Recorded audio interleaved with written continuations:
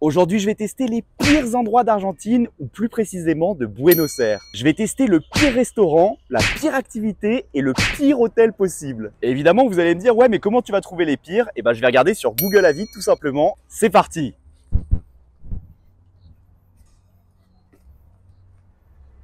Ok, pour le pire restaurant, j'ai trouvé un qui s'appelle Salvador et qui est noté 2,9 sur 5 pour 400 avis. Dans les avis, on peut lire Nous nous sommes assis à une table sale et même s'ils sont passés devant nous, personne n'est venu la nettoyer.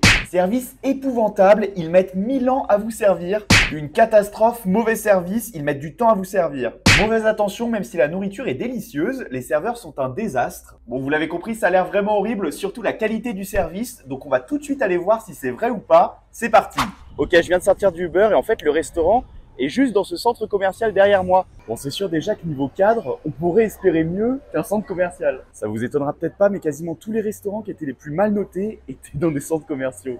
Donc c'est vraiment l'endroit pour les trouver. Ok les gars, le restaurant El Salvador est juste derrière moi. La décoration est plutôt sympa. Alors est-ce que c'est vraiment le pire restaurant de Buenos Aires?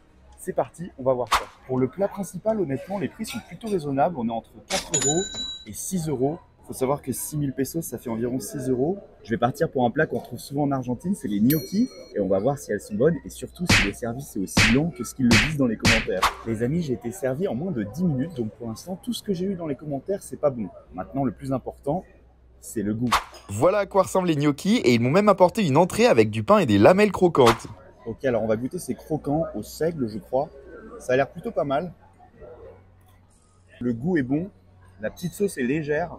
Vraiment, c'est ultra bon. Il y a aussi du pain, comme vous pouvez voir, que je vais également goûter évidemment. Alors là, le pain, pour le coup, il est beaucoup moins réussi. Il n'est pas très bon. Mais le plus important, vous en doutez, c'est le plat. Donc on y va, c'est parti, on va goûter. C'est très honnête, c'est vraiment ce que j'ai demandé. Des gnocchis avec une sauce bolognaise. Ils ont été généreux sur la viande. Il y a suffisamment de gnocchis aussi.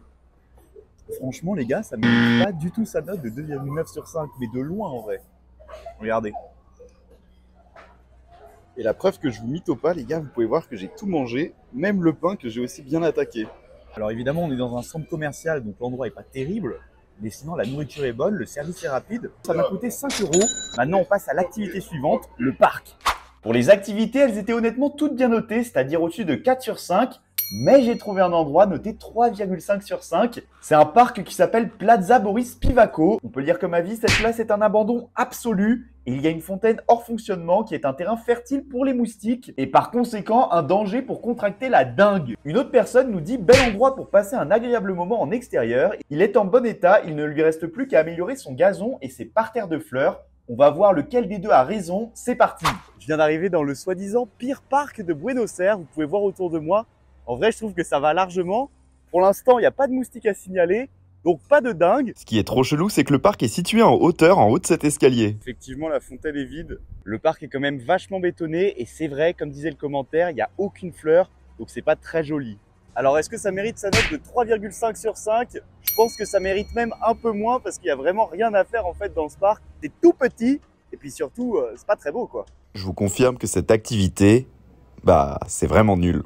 Après ce parc vraiment pas ouf, direction l'hôtel. Pour l'hôtel, j'en ai trouvé un qui s'appelle Hôtel Central Buenos Aires. C'est le plus mauvais que j'ai vu. Il est noté 2,2 sur 5. C'est la pire note que j'ai vue pour un hôtel. Comme vous pouvez le voir, il a une majorité de 1 étoile sur 5. Surtout qu'il y a 709 avis. Donc ça a l'air d'être vraiment une mauvaise expérience. Les commentaires, c'est par exemple L'endroit ressemble à un film d'horreur. L'hôtel est le pire endroit où séjourner pour un être humain. Les chambres sentaient le pourri, les murs s'effondrent et les salles de bain n'avaient pas d'eau chaude. L'expérience hôtelière la plus inconfortable. Un câblage dangereux, une pièce sale, des équipements de salle de bain manquants. L'ascenseur ne fonctionne pas. Ignoble, il y a des cafards du sol au plafond en passant par le lit.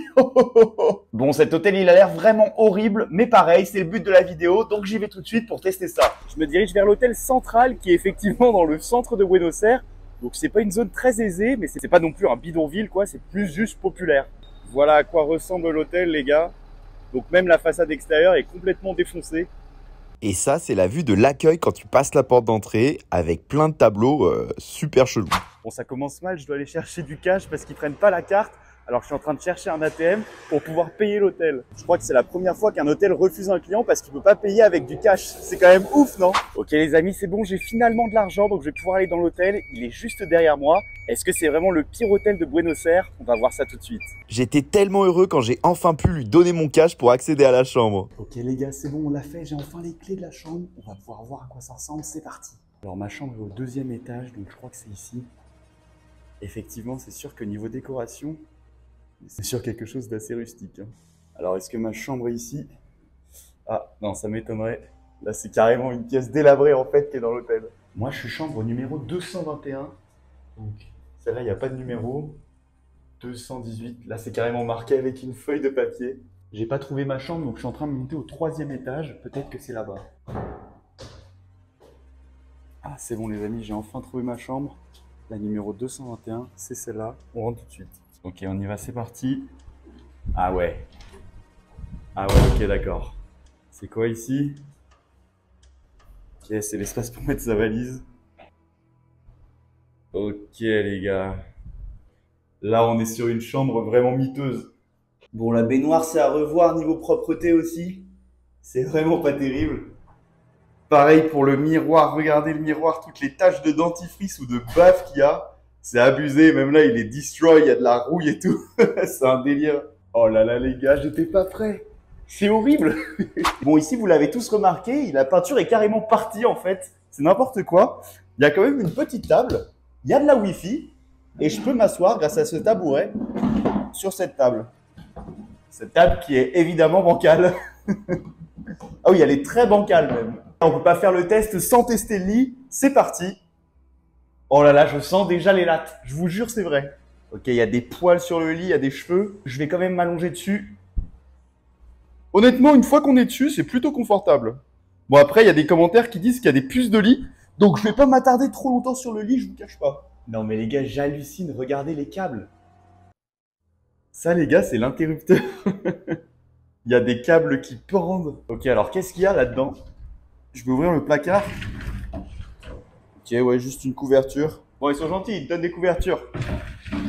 Par contre, le placard, il est ultra dur à refermer.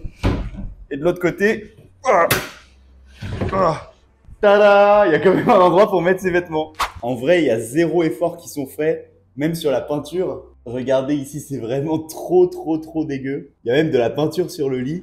En vrai, ça, c'est des détails qui pourraient corriger facilement. Si tu donnes un gros coup de peinture à la chambre et que tu ranges les cadres, en vrai, ça passe.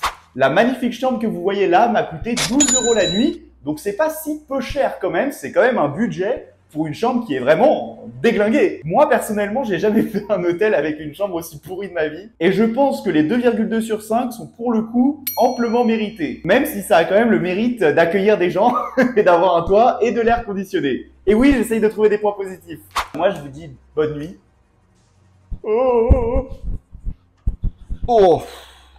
Bon, bah honnêtement, le pire de Buenos Aires, c'est vraiment passable, si on prend pas en compte l'hôtel bien sûr, mais sinon franchement ça passe. Si t'as kiffé cette vidéo, n'hésite pas à me le dire en commentaire et je te dis à la prochaine. Salut